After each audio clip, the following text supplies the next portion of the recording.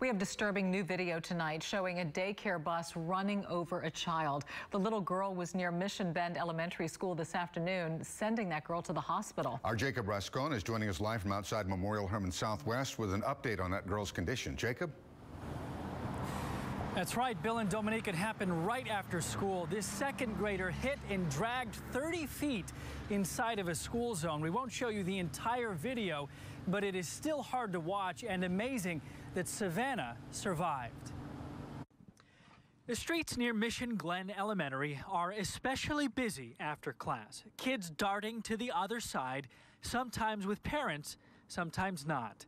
This is seven year old Savannah. She stops and appears to look both ways, and then it happens.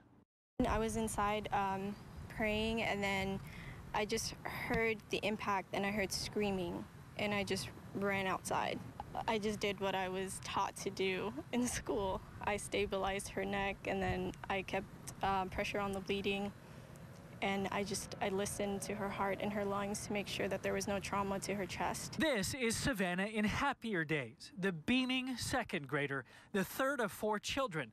In fact, the boy you see rushing to her side first is her older brother, Travis. Other medical professionals happened to be nearby, including Keisha Booker. She was crying at first, but we got her to calm down. I just applied, you know, pressure to her wounds. They were uh, bleeding very bad. The school principal, we're told, rode with Savannah in the ambulance. Badly injured but alive after being run over and dragged 30 feet inside the school zone. So kids are kids. The owner of that daycare bus sent us a statement that says they are conducting an internal investigation and have the child, Savannah, in their prayers. The bus driver is on leave while that investigation is ongoing.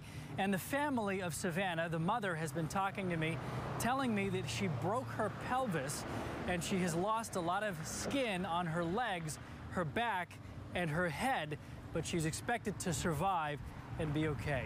Reporting live from Memorial Hermann, Jacob Rascon, KPRC Channel 2 News.